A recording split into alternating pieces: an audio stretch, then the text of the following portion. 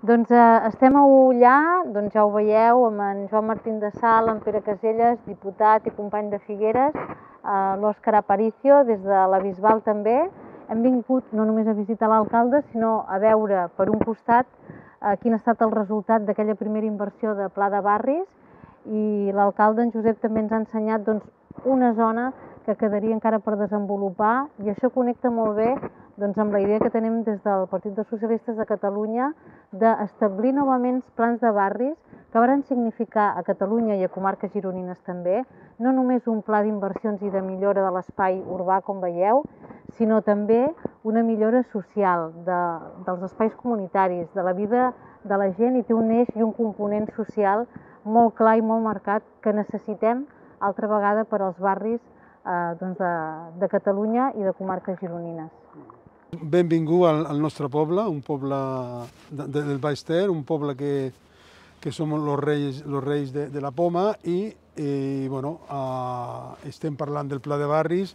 Penso que el dia que no lo van concedir, que va ser el 2010, va ser un, una loteria que va tocar ja, uh, perquè s'han desenvolupat, el pla de barris desenvolupa molt de temes, no solo los urbanístics, sinó los temes socials, temes culturals, i això ha anat molt bé. La llàstima ha sigut que lo van fer l'última tongada, el 2010, durant tres ha estat totalment aturat perquè no havia subvenció, no havia diners eh, en la Generalitat i no podien invertir, i ara ho hem, tingut que fer tot corriguent i bueno, nos queda molta cosa per fer, però acaba ja. Entonces, tal com ho deia la Sílvia, és bo de pensar que el que s'ha fet ja, eh, que ha sigut una transformació mm, al·lucinant, pues que se pugui fer en altres municipis i en altres pobles perquè hi ha molta necessitat. Bé, avui estem aquí a Ullà per reivindicar els plans de barris que s'han fet en aquest país. Eh, per exemple, a Figueres, on va ser una història d'èxit, pla de barris de la marca de l'AM i pla de barris del centre històric. Van treure doncs, zones de la ciutat que estaven realment deprimides, els van treure d'on estaven per avui ser zones on es viu realment eh, bé, on eh, les persones doncs, eh, van poder obtenir feina, on es va poder millorar la formació, etc. Però amb això no n'hi ha prou, perquè els governs que han vingut doncs, varen anar oblidant aquesta, aquest instrument magnífic. Què necessitem? Doncs nous plans de barris, per exemple a Figueres, a l'oest de la ciutat, una de les zones més degradades de Catalunya, amb l'índex d'absentisme escolar més alt de Catalunya, amb problemes greus de seguretat, per exemple, derivats de,